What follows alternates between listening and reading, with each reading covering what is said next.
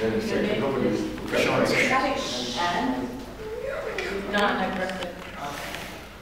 here today to witness the marriage of LaShawn and Don.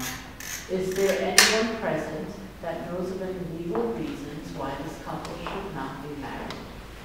Okay, may you speak now or forever be silent. LaShawn, do you take Donna to be your lawful wedded wife, to live together in the state of matrimony, to love, honor, and cherish till death do you part? I do. As a token of your promise, place the ring on your finger.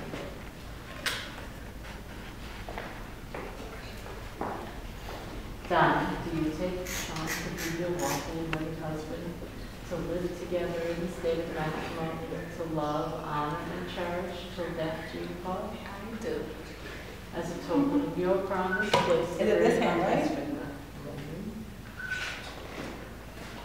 As both of you have consented to be married and acknowledge this in front of us here today, then by the power of the laws of the state of New York vested in me, I now pronounce you married. Nice, Yes. thank you.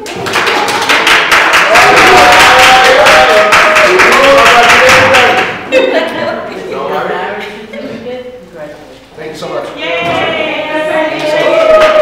is the day the Lord has made.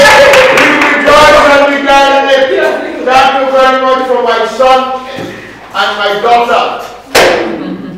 John Odessa and Sean. Thank you. Excuse me, Donna Simmons, thank you. Anybody want to say something that was said now, I told you, please.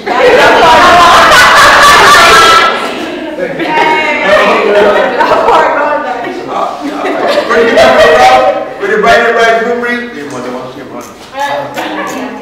Put right by the bridegroom. Now you have to be quiet. Give a picture. Yeah, Leave him alone, let him have fun. yeah, but. Where's my camera? Yeah. Try to- Oh, Wonderful, wonderful.